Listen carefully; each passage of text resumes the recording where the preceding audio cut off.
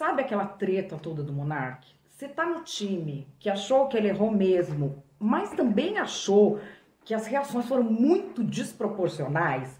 Então vem aqui que eu vou te explicar uma coisa chamada princípio da proporcionalidade, que é um dos princípios das relações humanas que o identitarismo atropela e esquarteja. Ó, se não tá inscrito no canal, se inscreve se você gosta desse tipo de conteúdo. Até o fim de fevereiro vai ter um e-book sobre identitarismo grátis para os alunos do curso Cidadania Digital, que vai ganhar também esse conteúdo. Aproveita que aqui embaixo tem um link exclusivo já de 20% de desconto aplicado na compra. Confere lá que vale a pena. Não é só nesse caso específico do Monark. Em vários outros casos que a gente vê pessoas perdendo emprego, tem caso de gente que se matou. Não que o suicídio seja diretamente relacionado a uma situação que aconteceu na internet, porque as pessoas são mais complexas do que isso. Mas quando alguém está com problema de saúde mental, com problemas pessoais, ser linchado não é algo que adianta muito para a pessoa melhorar. A gente tem uma carga muito tóxica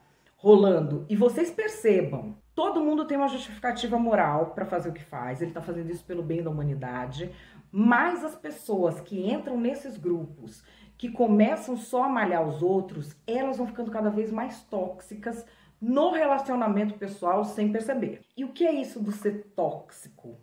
É violar um princípio da boa convivência, que é o princípio da proporcionalidade. No direito penal tem até a dosimetria da pena. A reação a algo que alguém fez tem de ser proporcional. A reação àquela fala dele, que podem querer torcer do jeito que foi, foi uma fala ruim e irresponsável, mas não foi apologia ao nazismo. É, nem se ele tivesse feito uma apologia ao nazismo, a pena prevista seria o que aconteceu com a vida dele. E você vai ver isso em vários casos. A pessoa está sendo acusada de uma coisa que ela nem fez, e mesmo se ela tivesse feito, o que aconteceu com ela foi muito maior do que a nossa sociedade concorda que deve ser a pena. É esse o princípio da proporcionalidade que vai surgir como essa pena maior.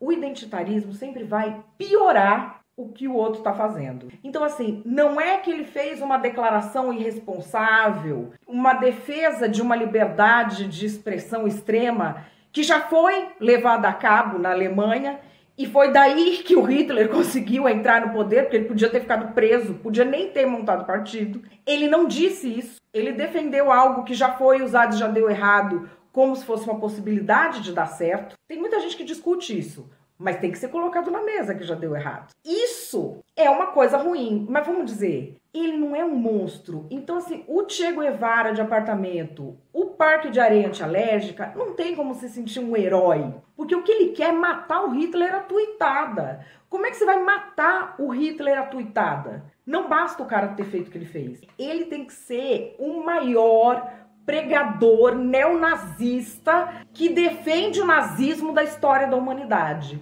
Então você transforma ele nisso, o que é desproporcional, para que o parque de areia antialérgica tenha a sensação desproporcional de estar fazendo alguma coisa que presta. E com isso, a penalização da pessoa será também desproporcional. O princípio da proporcionalidade é algo que a hora que você começar a enxergar vai mudar o seu jeito de ver as coisas.